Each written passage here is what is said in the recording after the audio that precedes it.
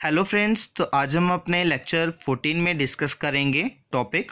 graphical representation for first order reaction तो first order reaction के लिए जो हमें ग्राफिकल रिप्रेजेंटेशन लेनी है तो उसके लिए सबसे पहले हम रेट एक्सप्रेशन जो ले लेंगे integrated rate equation for first order reaction which is K is equal to two point three zero three upon T log of A upon A minus X तो अब इसके बाद फर्दर हम इसको सिंप्लीफाई करेंगे। तो सिंप्लीफाई करने के लिए यहाँ पे हमने क्रॉस मल्टीप्लाई की। तो जिससे कि आपको मिल जाएगा, यहाँ पे के इंटू टी ये आ गया और इस तरह से 2.303 ये इसके डिनोमिनेटर में हमने लिखा। ये पोर्शन यहाँ पे सेम रहा log of A upon A minus X उसके बाद फर्दर लेफ़्ट साइड पे तो सेम ही है। राइट right साइड में हमने लॉग की प्रॉपर्टी को अप्लाई किया log of M upon N is equal to log of M minus N तो वो प्रॉपर्टी अप्लाई करेंगे तो ये आ जाएगा log of A minus log of A minus X then उसके बाद फर्दर इसको सिंप्लीफाई करने के लिए हमने ये वाला जो पोर्शन है यहाँ पे minus log of A minus X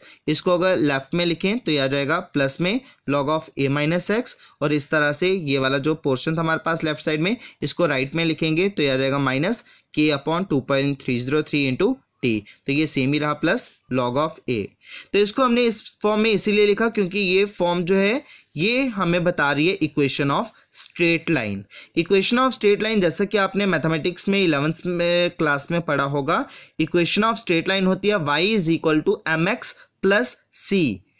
तो y यहाँ पे हमारे पास ये वाला पोर्शन आ गया log of A minus X um हमारे पास ये वाला पोर्शन आ जाएगा minus K upon two point three zero three X इसमें आ जाएगा, टी और सी आ जाएगा हमारे पास लॉग ऑफ़ ए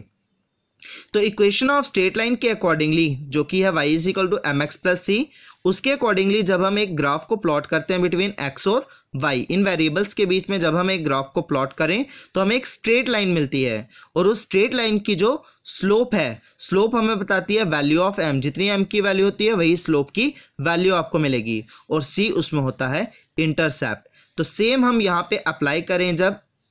इस इक्वेशन को, जो कि इक्वेशन ऑफ़ स्ट्रेट लाइन ही बनती है। तो उसके अकॉर्डिंगली जब हम एक ग्राफ को प्लॉट कर रहे हैं यहाँ पे वाई और एक्स के बीच में, यहाँ पे एक्स आ गया हमारे पास टी और वाई आ जाएगा log of A minus X तो ग्राफ को हमने प्लॉट किया log of A minus X और t के बीच में मीन्स एक्स और वाई के बीच में। तो ये हमें एक स्ट्रेट लाइन मिलेगी यहाँ पे, और इस स्ट्रेट लाइन की जो स्लोप है स्लोप हमें बताती है वैल्यू ऑफ़ एम तो यहाँ पे m क्या है? माइनस के upon two point three zero three ये वाली वैल्यू तो इस तरह से स्लोप की वैल्यू आपको मिलेगी इस स्ट्रेट लाइन की माइनस के upon two point three zero three और इसमें जो इंटरसेप्ट होगा इस तरह से इंटरसेप्ट हमें बताता है जितनी सी की वैल्यू हो। तो यहाँ पे इस इक्वेशन के अकॉर्डिंग सी की वैल्यू आपको मिलेगी log of A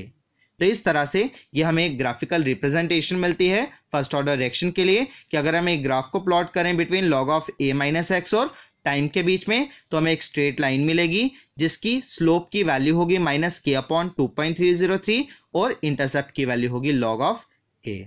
thank you